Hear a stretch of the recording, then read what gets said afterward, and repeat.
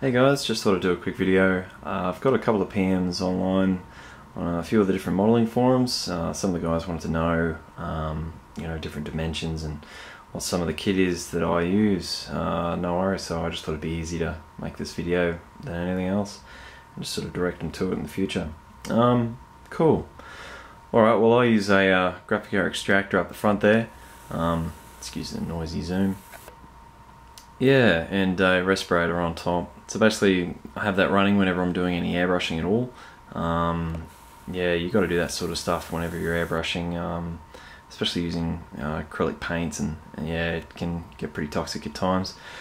Uh, in terms of lighting that I use, it's a um, it's a daylight triple bright light. Uh, I got them shipped over from the UK.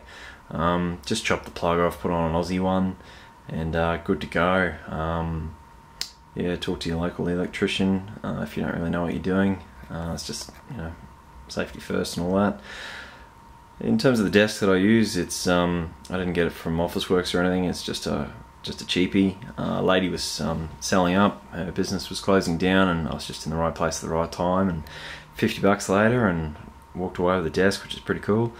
Then um, went to Bunnings and bought some um, sheet melamine, which is kind of like a laminate uh, board and that matches up with the uh, the color of the desk really well. And then I bought some uh, some skirting board and just bolted that to the uh, the melamine, and um, yeah, I can fit heaps on there, and you know, heaps of paint. Good to have paint. Can't go wrong.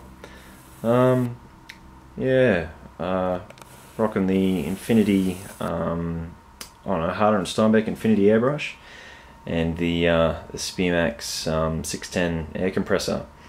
Uh, it's really quiet that thing. I can um, I can have it going all night really, um, and yeah, it doesn't bother anyone else in the house.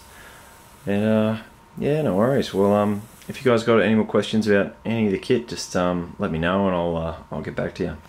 Have a have a good one.